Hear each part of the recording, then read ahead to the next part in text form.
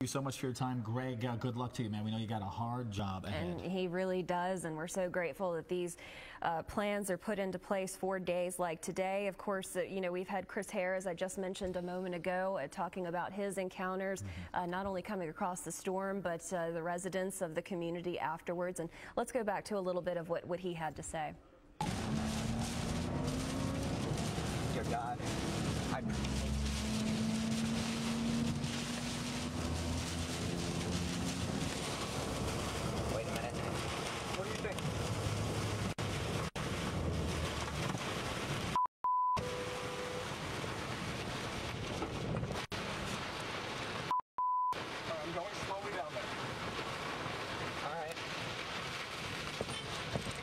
choice? Yeah, you're fine. Holy record. Here. We're fine. We're all right, we're all right. Oh, Kris, my God.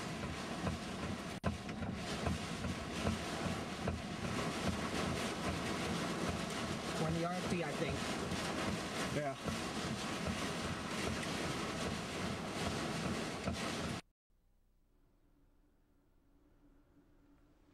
Wow, just unbelievable again, just uh, going through that video, and, and my heart beats with Kris's heart. I know, oh, I know his heart's into, probably going twice as fast as mine, but. I know, I'm turning into a porcupine over here. I mean, my arm hairs just keep standing straight up every time we see that. You can see the power lines in the background there are really, really taking a number. And if you look to the right, take a look at that tree on the right side of your screen. Just getting walloped all over the place. Yeah, and you can see some of the leaves uh, flying around in the air. Again, I don't know if this particular video right here is from Kris, but that last video, this is actually from Kris as well. Both of these are. And he was talking to us earlier thinking that he was probably less than 100 yards away from this tornado. He said in eight years, this is the closest he's been, and we'll be back with a lot more. Thanks for staying with us. A tornado right now. Limbs coming down everywhere you're looking at that just came into our satellite center within the past hour.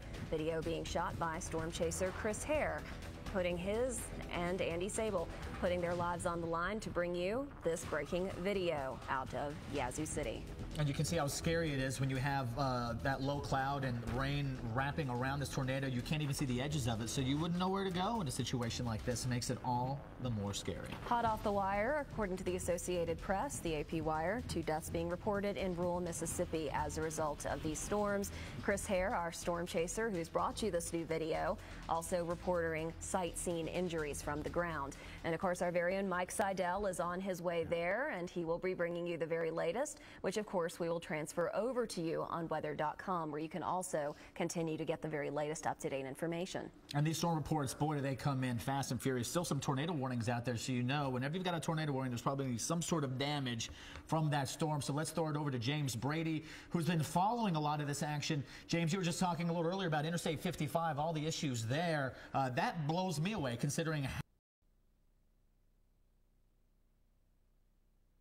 New video it just continues to stream in here to our desk. This is streaming video actually here again, just showing you this scene. This is from one of our stringers, and this is uh, Yazoo City here. And th again, the thing that just jumps right out at me here. I don't know if folks at home feel the same way, but there's supposed to be a lot more trees there. And, and what you're seeing are some of the trees that you still see standing stripped completely. That is already a sign of a very strong tornado. And Dr. Forbes, and uh, just looking at some of the video, again, that's not exactly how you do it. You got to actually get in there and survey. But he fears this is at least an EF3. And Kris Hair, one of our storm chasers, he said it kind of reminded him of an EF4 that he chased about a year ago. So this is a significant tornado uh, going through a relatively heavy populated area, too in Yazoo City, going over Interstate 55, which also has a lot of volume on it. And try not to cross over any of that debris that's blatantly out there in the middle of the road. You can see this particular stringer navigating around a lot of that debris. But uh, again, there's going to be a lot of stuff tangled up in those trees. It's not just going to be tree limbs. And your tires really can only take so much. We want people to stay safe. Uh, you know, The wind obviously uh, have, have, since uh, calmed down considerably, which uh, is what transported that debris all over the place and really did a number on a lot of the power lines. But uh, again, you know, we, we say never underestimate the power of wind and certainly never underestimate the power of water, which you can also see is piling up on the sides of the roads. Yeah, and this is new, never before seen video sent only into the Weather Channel from our stringers out there. So you can only find this type of video on the Weather Channel. It's amazing as you go up and over that next hill, and then you look into that that little valley. Again, just trees flattened everywhere. And these are not little trees. These are serious trees and no leaves. I mean, this will just suck the leaves right off of the branches. I mean, imagine how hard that would be to do. Even with your hands, how laborious that would be to do. And these tornadoes just take those, those leaves and foliage right off, strip them bare. And take a look at that one tree that's standing in the background. Look at how tall that is in comparison to the other trees, which have now been taken down. Mm -hmm. You mm-hmm. got to remember that the landscape, the actual tree line itself, has been completely changed in just a matter of minutes. The good news, the positive spin, at least the storms are now out of here. There are other parts of the southeast that are going to be staying right in the thick of things here with the rain, with some severe weather.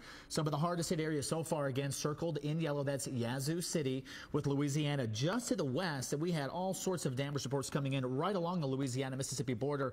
And that particular supercell, uh, which, by the way, is a thunderstorm that can produce a tornado, that was a long track uh, tornado there. Uh, Almost two miles. This two is what miles. Dr. Forbes is worried about today with this kind of setup. Not necessarily a ton of tornadoes. We think only about two confirmed, but the uh, confirmed tornadoes have been incredibly powerful. They have been, and sometimes you can get numerous storm reports coming in. Sometimes there'll be duplicates that have to get sorted out and tossed at the end of the day, and then you only wind up with, you know, somewhere between, like we were saying, two and four storms. Yeah. But it doesn't take much. If you do get those two to four storms and they do damage on a community and hit the the right spots, I don't want to say the right spots, mm -hmm. but right. spots that are uh, very heavily populated, this is where we find up with situations like the new video that you're currently seeing. Right, this is our same stringer there. Again, new video into the Weather Channel only. You can only get this here on the Weather Channel. And th think about the distance this fella's already traveled, Danielle. Probably already well over 100 yards, and we are still seeing incredible tornado damage here.